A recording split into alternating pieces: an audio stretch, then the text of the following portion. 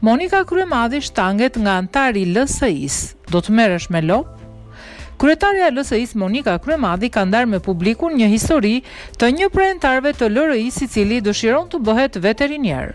Kur u ula nga ora 3 mëngjesit me Aurelin dhe Endrin, U habita kur mora vesh që mesatarja e Aurelit ishte nëntë pikë gjashtë, se në përgjithësi çunat janë një çikë problematikë për të patur mesatare të lartë dhe i thashë, për çfarë do studiosh?